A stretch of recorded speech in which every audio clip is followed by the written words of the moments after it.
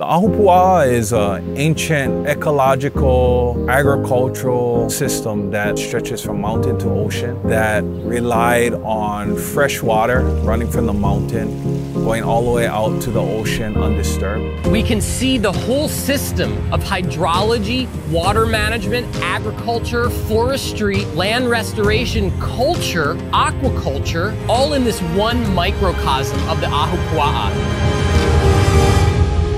It's like a microcosm for restoring all the watersheds of the world.